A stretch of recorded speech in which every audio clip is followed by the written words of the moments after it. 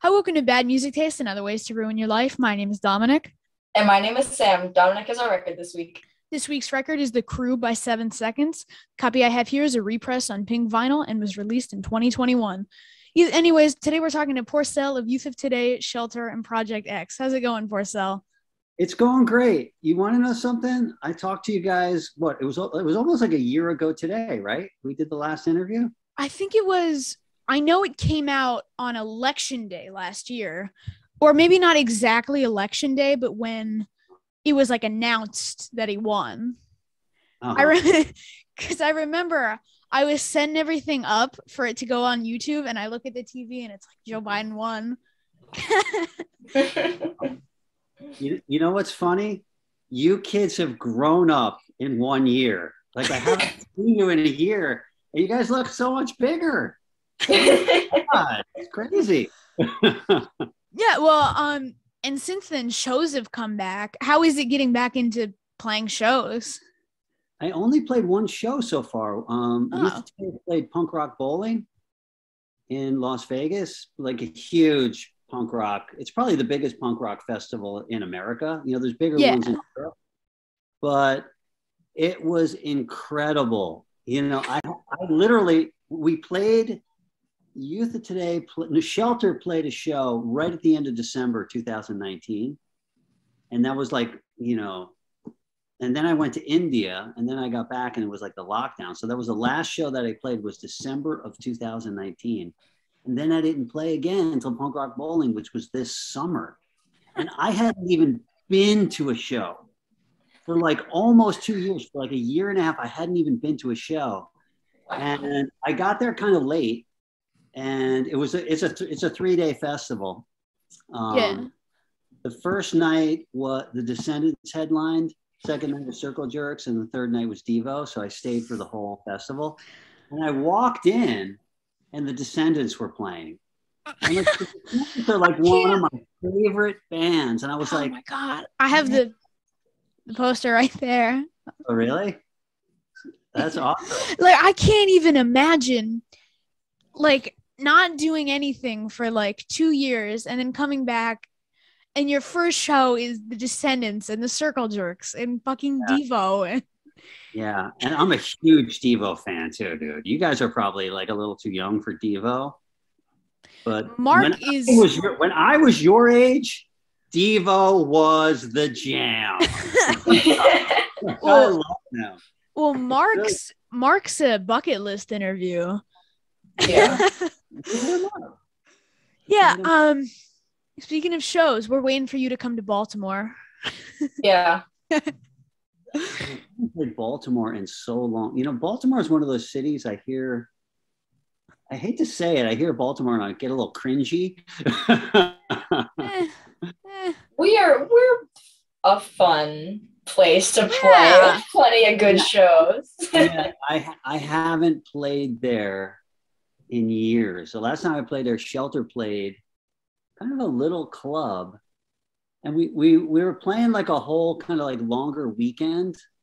And I believe the show was on like a Wednesday or maybe a Thursday. It was the first show that we played. And um, so we played Baltimore, and that show was like really weird and it wasn't really such a great show. And all the other shows were great. so maybe I maybe I'm a little bit uh. um. I mean, we've had some great shows recently. Oh, like we just saw. Yeah, we just saw Field Day. Um. cool. They yeah. played, you know what was really cool? Um, at Punk Rock Bowling, they put all the punk rockers, all the bands in one hotel. And all and, and all the kids know that this is the hotel that the band stays. So all the kids get rooms at this hotel too. And it's a oh. really nice hotel. It's like a Hilton or something, like a huge hotel. And it's so funny because the whole hotel gets taken over by punk rock. And there's, there's barely a few like businessmen. I remember like the I had my luggage and everything, and I get in the elevator, and it's just like filled with people like mohawks and chains around their waist, like spike jackets and stuff. And then there's like a businessman in the corner of the elevator. Thinking like he's like, am I about to get like jumped or something? Like, um, yeah, but it was it, it was really cool. So we uh, so we stayed there, and um, there's a pool at the hotel, and so every day and every night bands play at the pool, and Field Day played at the pool. Yeah. It, and it was the first time I saw them. They were really good. They were really. good. I'm a huge Dag Nasty fan, and I got to say they really ripped those Dag Nasty songs. They played all Dag Nasty songs. They didn't play any like um, I think they might have played like maybe one or two of their kind of like newer songs. but it was yeah. Dag Nasty songs, and it was like wow, I was psyched. Yeah, I wish they played originals more because I really like their originals, but they do they like rarely play them. Huh. Yeah. Yeah. You know what? Um, but yeah, we saw them at uh this little place called the Ottobar, and then we got like lunch with them beforehand. Oh, That was pretty cool. They've been on your show a bunch of times, right? yeah, Yeah. we we talked to Doug twice, and then it took like a year to get Peter on. Uh-huh. Because after Doug, uh, we were like, "Oh, Peter, can we get you on?" And he was like, "I I don't do interviews." And then we came out with the Ian interview, and then he was like, "Maybe I do do interviews." Um, Big time now, man. and then and then he can't he like it was like on and off for a little bit, and then we got him like a month or two ago.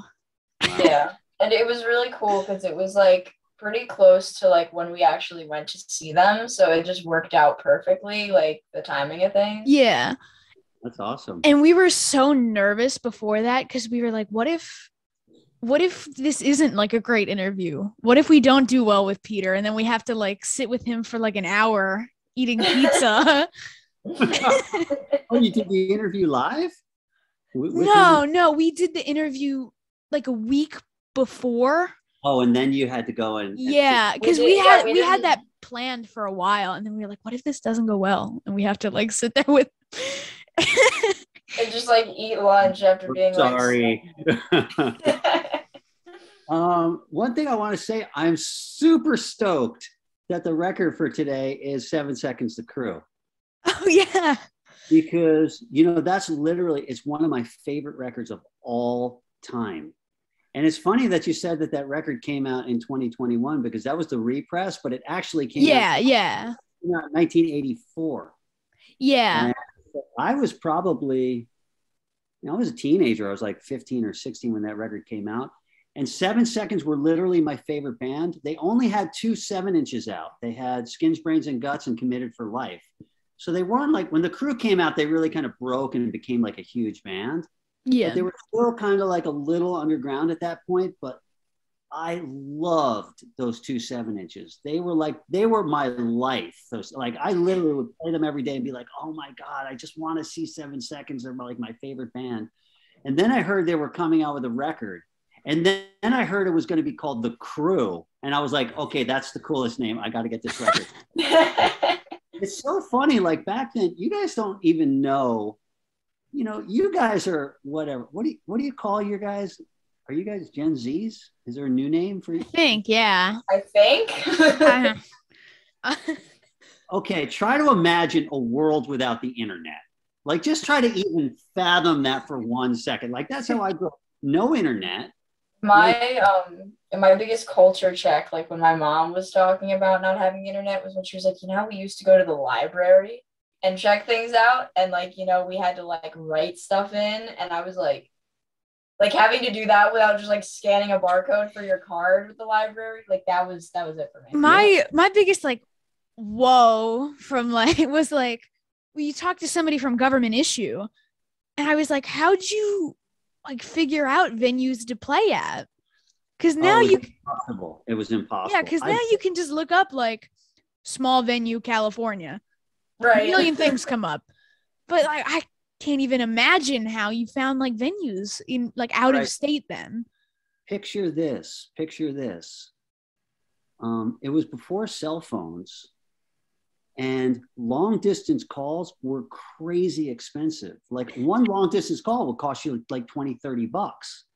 So i booked the very first youth of today tour. It was the can't close my eyes tour when our first seven inch came out. I was 18 years old and you want to know how i did it my friend was like a computer genius when computers were first starting. He was literally like the first, one of the first hackers. Like he was just like he was a computer genius, and so he would hack into um, these credit card databases, and he would get phone card numbers. And so you just used to be able to call in, and you'd use like IBM's phone card number, and you would be able to make long distance calls. So you'd make long distance calls for free. And these numbers would go all over the punk scene, like literally Black Flag tours, Circle Jerks tours, you know, Seven Seconds tours were all booked using this one punk rock kid's illegal credit card numbers. And so I remember I didn't even know what venues to call up. So I, I, I called up Kevin Seconds and I was like, Kevin, dude, I'm going to book a tour. I don't even know. Like, how do I do it, dude? Like, what are the venues? So he luckily he had I think I'm not really sure where he had a list of clubs. I think he either got it from Ian or he got it from the guys from Black Flag, or it might have been his own kind of thing that he put together. And um, I sat down on the phone with him. You know, it wasn't like, hey, dude, can you email me that list? I sat down on the phone with him and he said the name of the club and each number. So it was like a long distance phone call on the credit, on the fake credit card. made my own little kind of like database of clubs. And the first tour that I booked was Seven Seconds. We're doing an East Coast tour, and I was like, I was like, Kevin, can we play some of those shows? He's like, I don't know. You're gonna have to call up the venues. And so I called up the venues, and I literally said, "We're a band. No one's ever heard of us, but we're on Kevin Seconds record label. Can we please play the show?" And they would say, "Okay." And practically every single place said, We can't give you a guarantee. We might be able to give you gas money. And I was like, Yes. I booked the whole tour on these, you know, thanks to Kevin Seconds, like little list with an illegal credit card. And, you know, that's just like how we did stuff back then. It was like, it was like the, the Wild West back then. the dude with the credit card comes back after like a little bit and is like, "What the fuck? Somebody spent a thousand dollars on phone calls." Well, the, the credit cards they would get canceled after a while. Like after oh. about they get can- and you have to make them from a payphone, so you can yeah. you can do it from your house or you get busted. But literally, like every single punk rock tour in the '80s was booked by those things because you just couldn't afford to make long distance calls back then. It's crazy. But it was really cool because, you know, this was before the internet. So I heard that Seven Seconds were coming out with a record that was called The Crew. But of course, you, you know, you don't really know when it's coming out. Like, you know, there's no information, there's no internet. So you don't know. So I lived in a, I lived in the suburbs, and of course, there's no punk rock record store near me. So the closest punk rock record store was either in New York or or was in this place called White Plains that was like about half an hour train ride.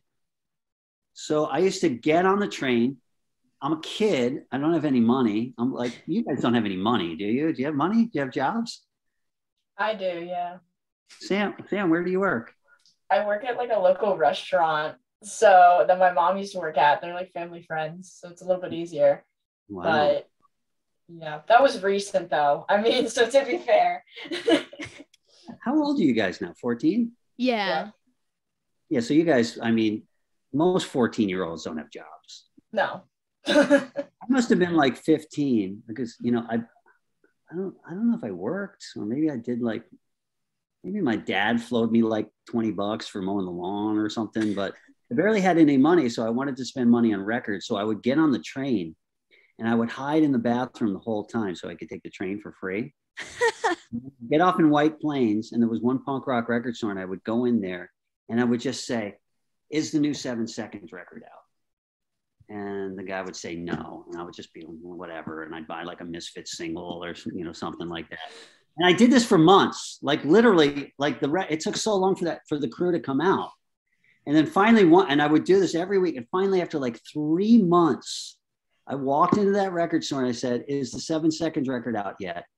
And the guy nods over like this to the bin. And so the way that the bins start, you know, bins usually start numbers first and then A, B, C, D. And so right in the numbers, the very first record was the crew. And so he nodded over and I looked over and I just saw like seven seconds, you know, how you flip through the records right in the front. And dude, I walked up and I just like picked up that record. And I was like, wow. They flipped it over to the back. Wow. Oh, this is the record I've been waiting months for. and I bought that record. It was just like, it's just an incredible, even to this day, it's just an incredible record. Yeah, I um I recently got into seven seconds after like they announced like of course I knew who they were. I just never like really listened to them and then they announced like like Trust Records said, "Oh, the crew's coming out." And it was such a huge deal that I was like, "Okay, I'm going to start like listening to them." First album, first song, I heard Escape and Run and I was like, "Okay, I like this band." and oh my god, this is a great record. I'll just say. It's amazing. Yeah. It, it stands up to this day as like a great hard, melodic hardcore record. And that record was the blueprint for practically every melodic hardcore band that you know has come since. You know, even bands these days that come out, you know, they wouldn't sound the way they sound. If you're if you play kind of like faster, hardcorey stuff that's a little bit more melodic, like you owe such a debt to seven seconds. it's like yeah, you go from like seven seconds to like the bouncing souls. Yeah. Exactly. H2O or you know, any of Yeah. those kind of things nowadays. Such a groundbreaking record. Yeah. Uh sort of changing it up. Um this interview's coming out on thanksgiving by the way. Oh, um awesome. yeah thanksgiving isn't the most like vegetarian or vegan friendly holiday. So Not you, at all. yeah so what do you typically do for like thanksgiving dinner? And what advice would you give to people with the same dietary restrictions? Thanksgiving is tough if you're vegetarian or vegan, and it's especially tough, you know, if you're going back home to like your parents.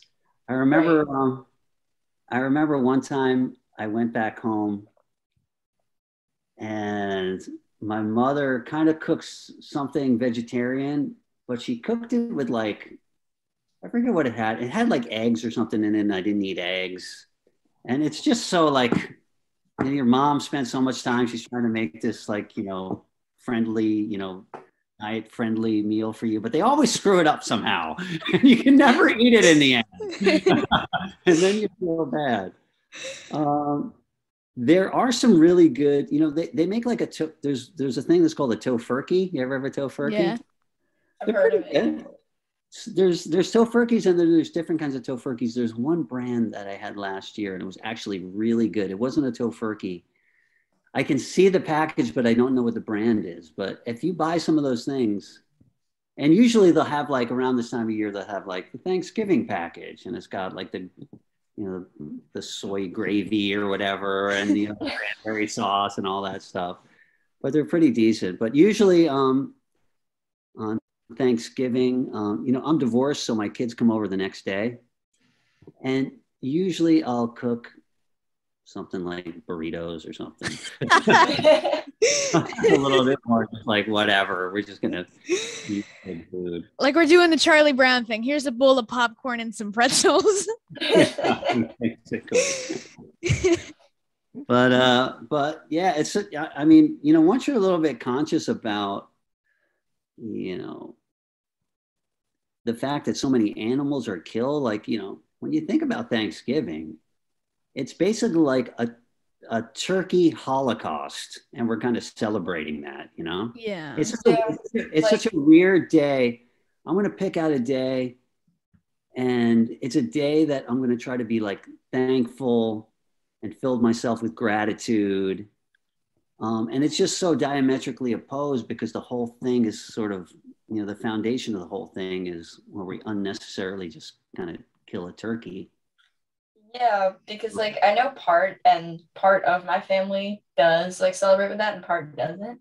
But you think about it just in general, like whether you do celebrate like that or not, and you're like, it's kind of unsettling. You know, to yeah think about how many turkeys, like you go to the store and you look in like, you know, that section and you're like, that's a lot of like animals being killed for like one day. And it's just kind of like a reality check where you're like, oh, that's not not really okay. Forget it. You two guys are future vegetarians. You guys already know too much. See, because you, yeah, you said it last time. You were like, now you guys are just like being fed, which is which is true. Um, yeah, because I mean, you can't you've uh, like more restriction on like you know the options, but like you get older, it's like oh, well, you kind of pick out everything. So yeah, it's a lot easier to lead your own diet.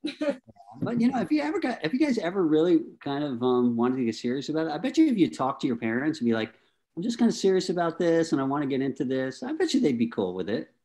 I think they'd be fine. My mom, like we've talked about trying it for like um like a couple months at a time and stuff like that, just to Mhm. see like the difference and everything. we're we're getting into it gradually. It's like Monday we don't eat meat, you know. That's great. One day a week, meatless Monday or whatever. Yeah, Um, and what I recommend to people, you know, because I'm a yoga teacher, so I always have people that, you know, once you do yoga, you start getting into things like higher consciousness and meditation. And then, uh, you know, inevitably the whole kind of like vegetarian things comes up because, you know, when you're trying to improve and you're trying to become more compassionate, you know, which is the whole, um, you know, which is all part of yoga. Inevitably, that's going to come up, being more compassionate in your diet. So I always tell people, have a meatless Monday. And on that Monday, go to a really good vegan restaurant, you know, and you know, and get a taste for how delicious vegetarian food can be. And it really kind of like over time, it really makes a difference. You know, it's not like you're, you know, oh God, I can't eat meat today. I'm just gonna eat a peanut butter jelly sandwich. Or like, you know, when I when I became vegetarian, like just straight black beans. yeah you got to make it really attractive like you gotta you know get you get yourself some some good food and and then you'll li- you'll literally get a higher taste from it yeah, like there's this uh pizza place that Sam and I go to called Johnny Rad's, and like they're obviously known for their pizza, but I'm really happy that they also have like they're also really well known for having vegan options. uh-huh. Yeah. Like- um. and johnny rad's is probably the coolest name of a pizza place that i've ever heard of Oh, you should Oh. see their logo. It's, It's the best. it's the four black flag bars. no way Yeah, yeah, and that's the, that's the place. That's the place we went with field day. It Oh, is just the coolest place ever. Like, and just the fact that they have that many options for people makes it even better. It's Yeah. so fun. You know let me let me ask you guys some questions. I'm a little bit int- you know i'm always intrigued by you guys because you're so young.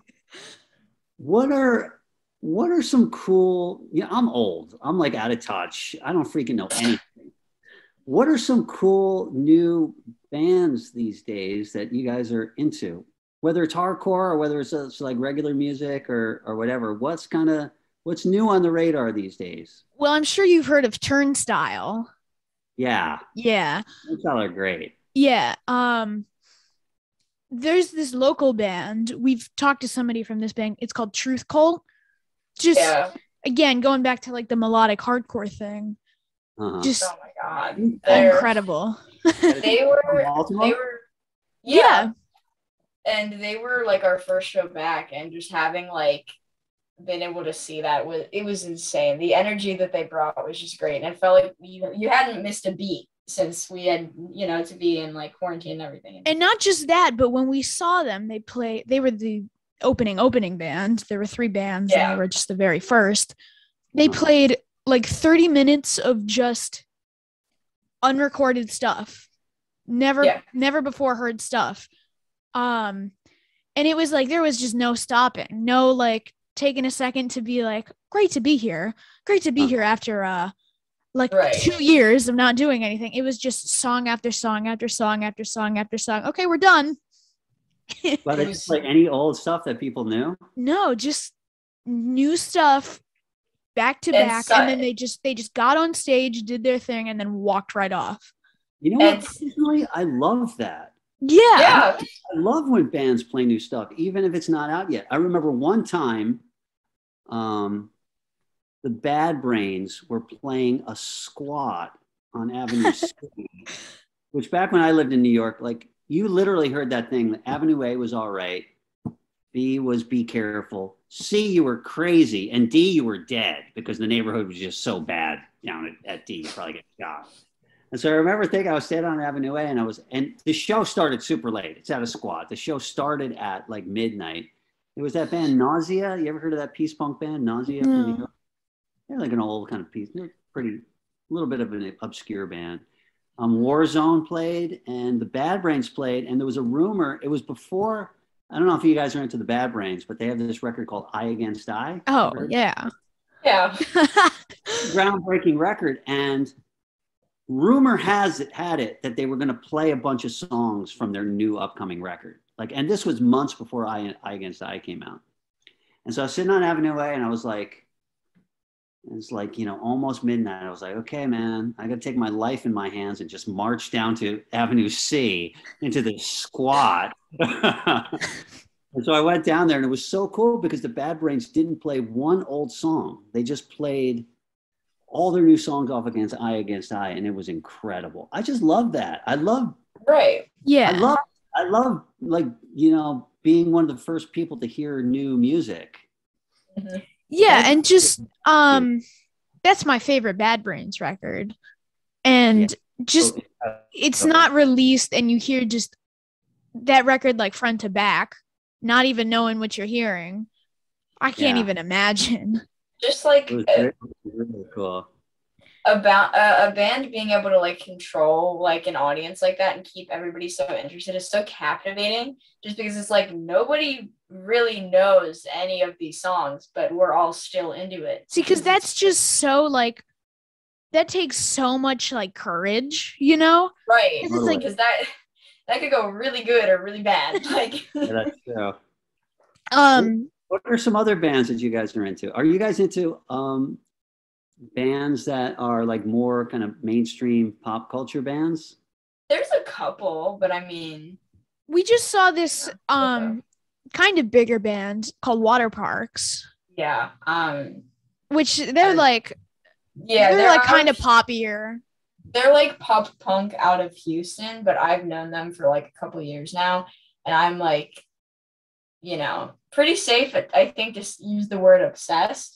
Um, I just I love what they do and like their records. It just uh, you know, as soon as I hear like that even word of it, and they drop like the pre-order, I'm like, yep, that's bought. Like it's on my it's on its way. You know, so I'm I'm trying to think of who else I'm listening to right now, like new bands. Okay, how about this?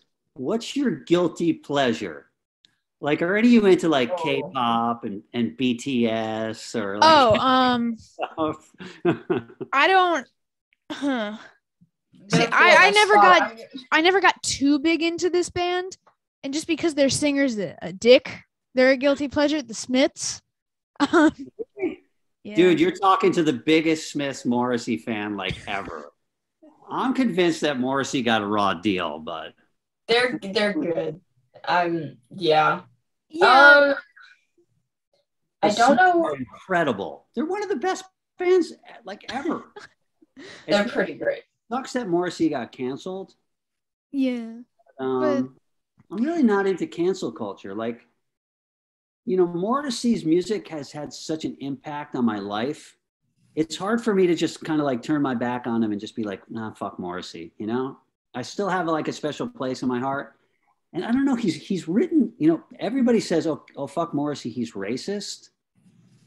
But he said he's said anti-racist things in his lyrics in his songs. Like it's it's hard for me to think to believe that Morrissey is just like a bigot. Like I, I don't Yeah, know. I, Maybe I don't know. True, it is not. He's never really kind of like went out of his way to defend himself. Yeah, I Right. personally think it could go both ways when it comes Yeah. to like your opinion on Morrissey. Yeah. yeah. Um. But overall, they are a good band. Like undeniably, it's Yeah. I've, I've seen Morrissey maybe like almost, I've probably seen him around like 20 times. Seriously. Like, I'm sort of, um, I have a friend who's like a, a really good friend of mine who was in a band with Morrissey's guitar player like back in the day. They were in like a rockabilly band and they're Like- really good. Johnny Marr or Not Johnny Marr. He's, he's a guitar player for the Smiths, but in Morrissey's band, he's got a guitar player called um, Boz Boorer. And so my friend was like really good, kind of like teenage friends with Boz Boorer, and they used to be in a rockabilly band.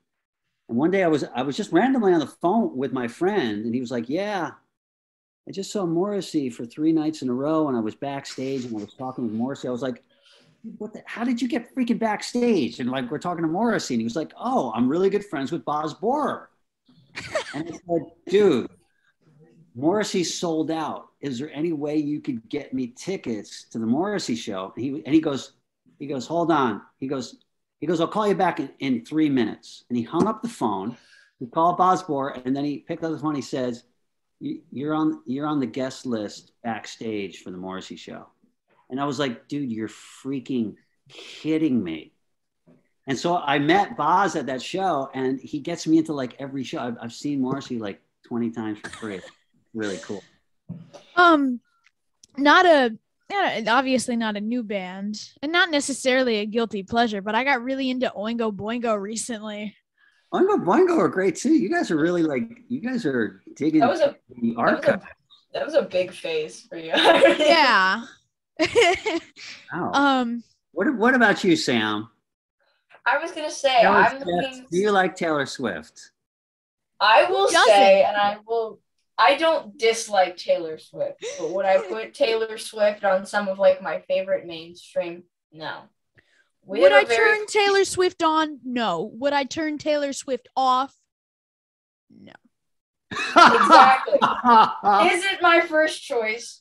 No.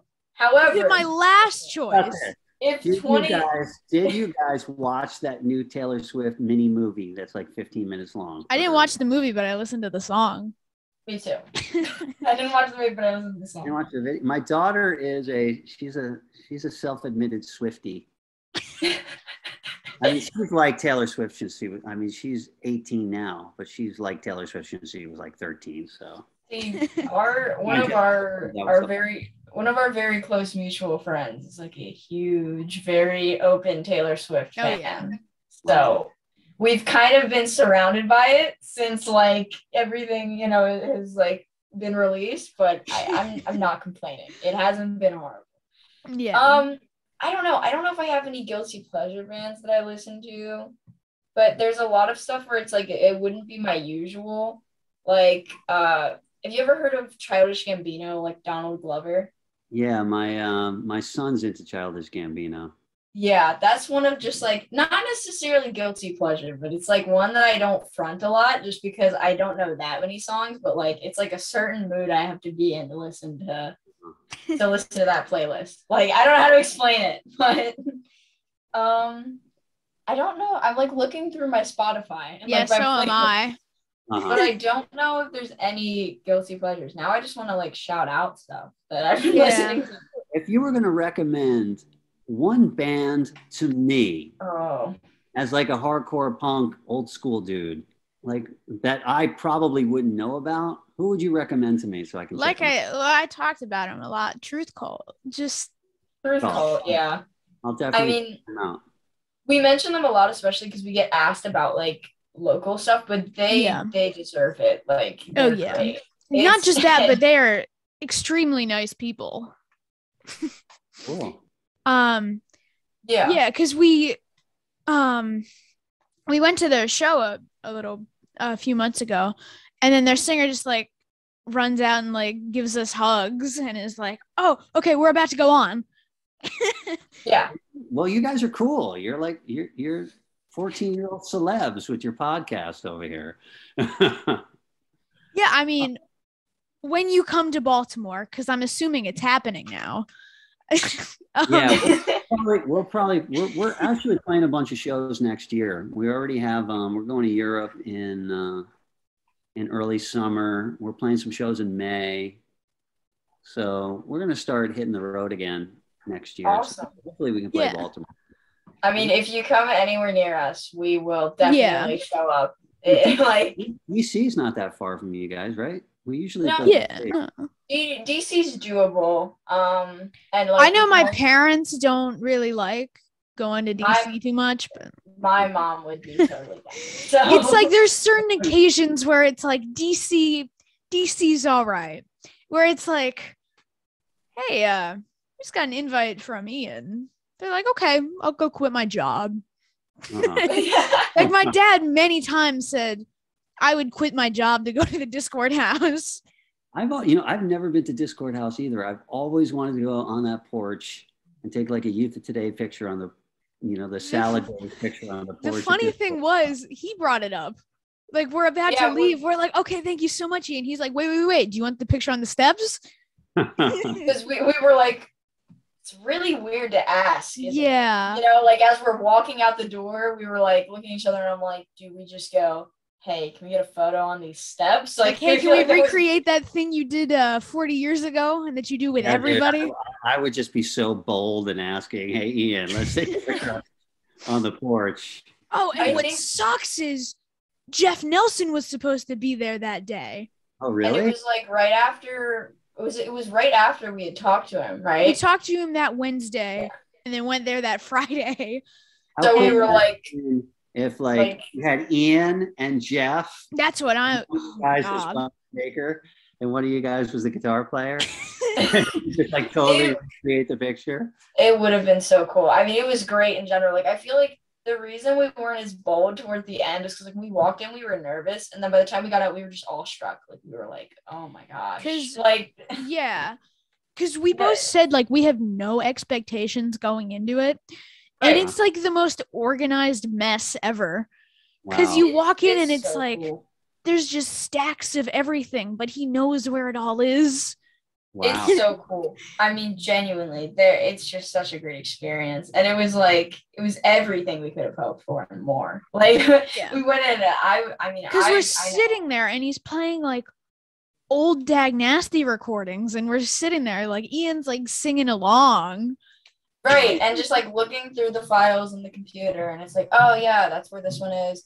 And it was. ju- He was just like, name a band. I bet. I, I bet there's like a file on it, and we were just like. Like just going back and forth, and there was always something to listen to. It was crazy. And it's Um, like he was like looking through him. He was like, "You guys like Minor Threat, right?" No, no, No, we're actually not a fan. Your hat. Yeah. We're like, no, no, what are you talking No. about? Who? you know, you know what I just saw online was all these um all these letters that Dave Grohl from the Foo Fighters We wrote s- Ian. We saw one of those. He- yeah. Oh, that was he- he wrote a isn't it? little note and he was Ian was so suspenseful about it. He was like reading and he was like, "Hello, Ian. I would like a new band and I think you know people." He turns it around and he goes, "Dave Grohl." he was like covering like the signature the whole time, and he's like, Dave we were- Grohl. I, there was just like an audible gasp in the room. I was just like, no way. Like, it was so cool. Um, I love the Fugazi Thanksgiving memes. Like there was one, it was like, "You've heard of Elf on a Shelf, but have you heard of MacKaye on a Pie?" That was I've seen those. It's coming up. It's yeah. theme That season. was like a year ago now. We Mm. did the interview over a year ago. Yeah. And then that 'cause one we- came out on Thanksgiving last year. Yeah. So we had Ian last Thanksgiving, you this Thanksgiving. That's a pretty good run for Thanksgivings. Yeah. You want to know what I wanted to talk to you guys about? I saw a really kind of semi-disturbing Joe Rogan, and they were talking about like teenagers today, and that and the guy had all these st- statistics about, you know, you guys are like a real experimental generation. Like you're the first generation that's grown up with like video games and cell phones and social media and just like you know virtual reality and all this kind of like weird stuff. And it, and the guy was a psychologist and he was saying about all the detrimental effects that it's having your generation. And dude the statistics are scary. It's like your generation has the most teenage suicide. Your generation has the most kids on like opioid medication for depression. Like your generation is like super screwed up. The scary I, I think the scariest thing to think about like with that conversation that i always bring up is just the fact that it's like the public eye that's always there. And i mean of course there was always bullying. There was always mental illness. There was always people you know getting made fun of. That that's always been a thing. But it's like being in such like a spotlight at times because of social media and feeling like you have to live up Yeah. to a certain standard, I think has been really hard for people because it's a lot harder to be not what's normal. But I don't You know, think like- it like I don't think with this generation it just automatically like became so much worse. I think it just became easier to talk about. yeah, it was it was a little bit easier to discuss because you saw like the younger Cuz it's cuz then it's kind of it. like like you think like 40 years ago nobody would have talked about that. And Yeah. it Right, would be like, kind of like there was kind of a stigma around that. Like you talk Right. like you're like, "Oh, I'm being bullied." Probably cuz you're a pussy or something like that. Well, you know, Joe Rogan brought that up. He said something like, Do you think this has always been that way and now we're shining a spotlight on it? Or do you think it's actually gotten worse with just this kind of like computerized generation? And, and this guy, I the guy was saying, No, it's definitely gotten worse. Like, I would say to an extent, like, and this is from our, I mean, obviously your perspective is going to differ everything, but like from our perspective being in the generation, at least what I think is like, to an extent, there's been a little bit worse for the sole reason that it's like there's more of it, you know, like it's like the normal, like for, you know, I to think have, yeah, like- and that also became easier because now you can just like text somebody and tell Right, them everything they're can, doing like, wrong. Anonymously like message somebody, find them pretty easily Mm-hmm. on stuff like that. But I think also it's just like it's that we can talk about it more now because there's more data on it as well. So being able to see kind of how things have changed and shifted is also another reason why I think it's like a bigger deal than it was, say, like you said, Dom, like 40 years ago. Mhm. You, you know what's really cool? I had a conversation with my daughter about this. It's it's you know it's really cool to be into punk because punk teaches you such a great life lesson. Punk, you know, because you know one of the big problems with kids today is that you know you're on social media. Social media is like this highlight reel of everybody's life. They never put the bad stuff they only are like throwing the good stuff up so everybody's life looks so attractive and wonderful and great and then you're sitting there with your crappy life and you know your problems and stuff and it just like you can't seem to live up to Right. the standard of, of other people which is actually like not even reality to begin Mhm. with kids get Right. Like kids- everything's falling apart, but this is an awesome picture of me. yeah Right. And that's kind of seeds. Right, and that's kind of the front that's been put up. So I think that's kind of the whole idea of it is like we kind of compare ourselves to other people and we'll look at it as something like that, but to be able to take the step back and be like, okay, but they might be in the same situation as I am, they're just better at hiding it.